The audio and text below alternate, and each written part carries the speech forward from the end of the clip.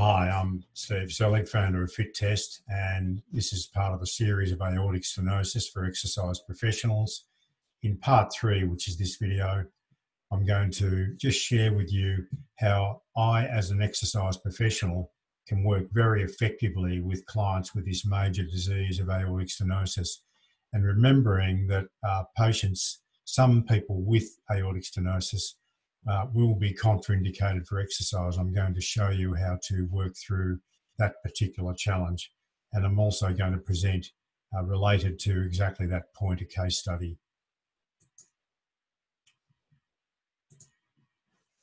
So what we need to do as exercise physiologists is we need to adjust for the pressure drop across this diseased valve, this tight um, calcified valve.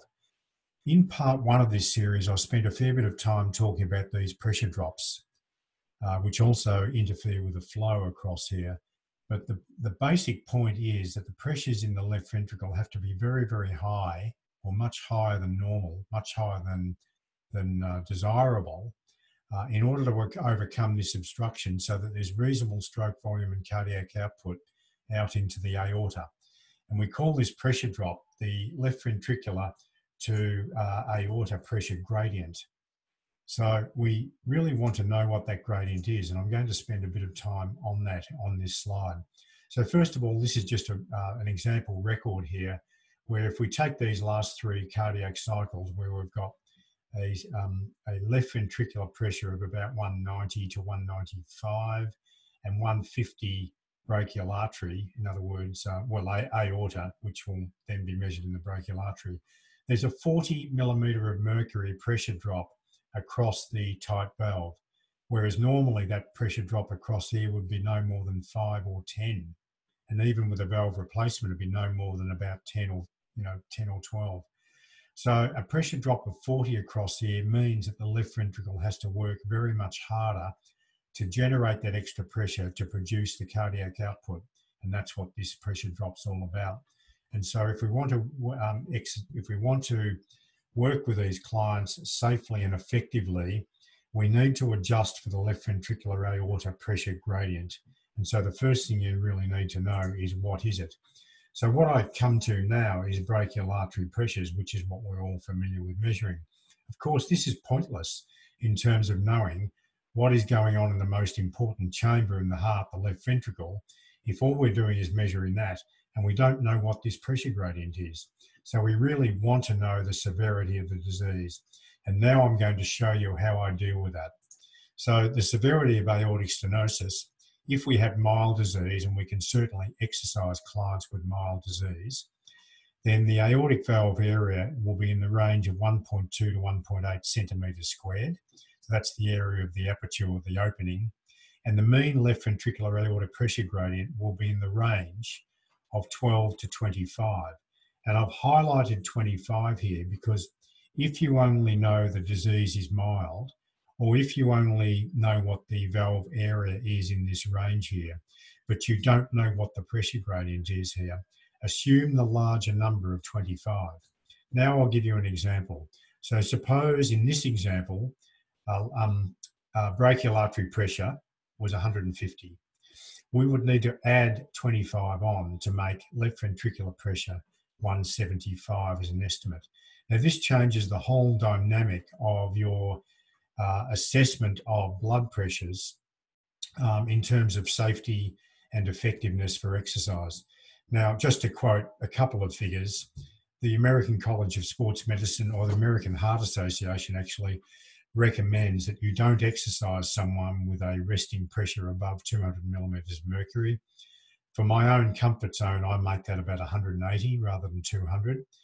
The American Heart Association goes on to recommend that exercise should be stopped when blood pressure reaches 250. Now, if we're going to take 250, this means that someone in this condition with mild aortic stenosis, we would need to stop that exercise test not at 250, but at 225 after we've subtracted this 25 off. In other words, we're adding 25 to this. If we measure 225 in the brachial artery when someone is exercising, then the left ventricular pressure is probably somewhere around uh, 250 in the example of mild disease. It's a guide, but it's a very useful guide. Now, having explained that, then moderate disease is quite easy to understand using the same uh, approach. So the aortic valve area, 0.8 to 1.2 centimetres squared. Now the mean left ventricular aorta pressure gradient is 25 to 40. If you don't know what the pressure gradient is, but you know the person has moderate disease, or you know the valve area is in this range, then add 40.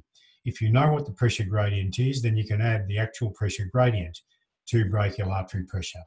So I'll give you two. I'll give you an example. So if, if brachial artery pressure is 140, and you do know the gradient to be 30, you just add 30, and that makes the left ventricular um, uh, uh, left ventricular systolic blood pressure 170, 140 plus the 30, and you can exercise up to 220. Adding the 30 here, we get to the 250. However, if you didn't know the gradient to be 30, you would assume the larger number and add the 40. Now, when we come to severe disease, this appears on the American College of Sports Medicine absolute contraindication list. So the valve area 0.6 to, 0.6, uh, to 0.8 centimetre squared, the mean left ventricular aorta pressure gradient in the range of 40 to 50, and in, even if it's 40, you don't exercise this person. You can give them a bit of gentle walking, but hopefully these are going to be candidates for either valve replacement, surgery, or TAVI or TAVR. Now, uh, so we can't really, there's no point in really dealing with the 40 to 50 in this setting, except if you measured, for example, if brachial artery pressure was 140 and the gradient was 50, then that would make left ventricular pressure 190 or thereabouts.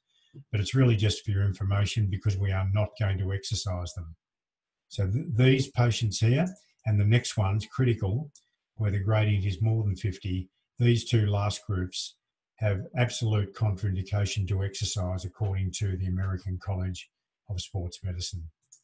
So now I come to my case.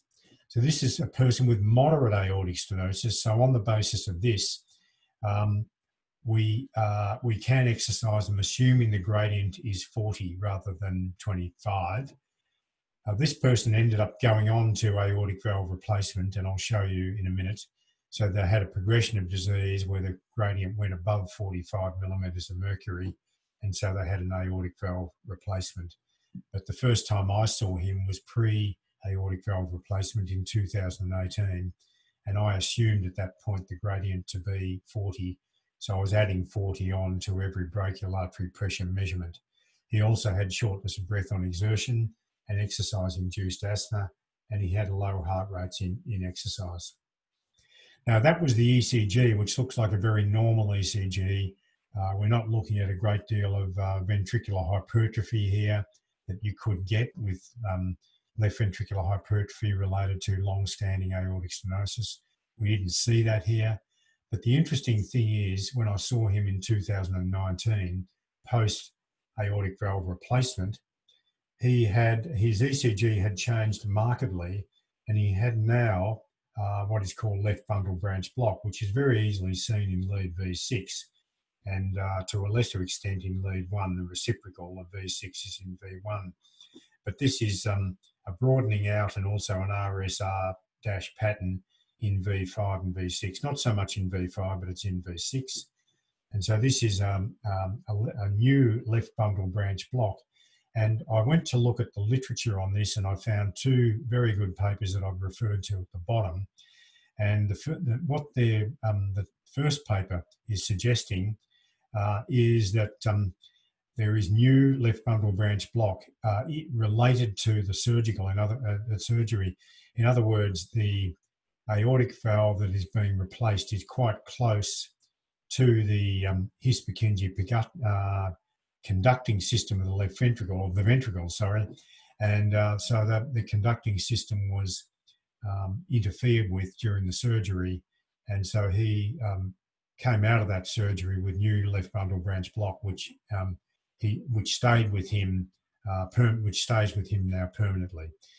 There are about five percent of surgical aortic valve replacement patients uh, end up with new left bundle branch block, And after TAVI, which is not what he underwent, he underwent aortic valve replacement, but under TAVI, it's about 17%, about one in, I think, one in six or seven uh, patients who have TAVI will have new AF, a new left bundle branch block after the intervention. Now, what's the significance of this? Well, left bundle branch block is on the contraindication list for. For exercise. You can proceed with exercise, but with caution. And I would certainly avoid high intensity exercise, and we do avoid high intensity exercise in this person that has now in left bundle branch block. That's quite important. So I've just capped the exercise intensity at moderate intensity and moderate volumes, and interval training is very good. Now, how would you know that someone had or didn't have? Because it's one in 20 of the surgical patients and one in six or seven of the TAVI, uh, TAVR um, patients have this new left bundle branch block you really um, you can use some single lead ECG methods to detect this. Um, any sort of widening of the QRS or change of the morphology pre and post. Of course, you'd need to have the pre and post ECG to really make head or tail of this. But the other thing you could do is just ask the uh, the medical practitioners. Uh, they should know whether the person has new left bundle branch block uh, post uh, intervention. So it's important to know, and then you can guard against uh, some nasty ventricular arrhythmias and tachyarrhythmias uh, related to left bundle branch block. But it, it's not um, every patient by any means, but there's a significant number of them, enough of them for me to mention it and to present this case study. Um, and so that's all I wanted to say on this case study. Thank you for watching, and you can contact me at info at myfittest.com.au. Bye for now and have a great day.